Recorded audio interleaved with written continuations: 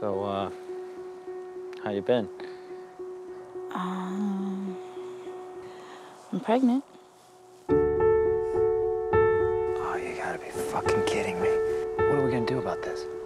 I'm going into the city on Friday to get this taken care of. This Friday? Like 15 minutes late. 30 minutes late. Oh, come on now. I just wanted to clarify that I'm happy in my relationship with Jen. Relax, Martin. I don't have any interest in breaking up whatever you and Jen have going on there. Just, just parks somewhere.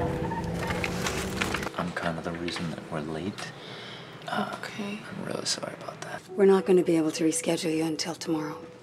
This is fucking ridiculous here. Fucking give us a, a fucking just- yes or no. Do you have a, uh, you have a plan? Plan? Cheers, cheers, you guys. It's so great to have you here. I'm goddamn sure, Martin. I can take care of myself. I don't need you to babysit me. Will you cut me some freaking slack? You've been at me all morning. I'm trying to help you out here.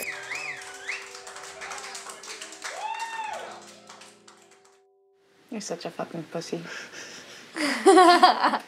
You are a pussy. Yeah, yeah.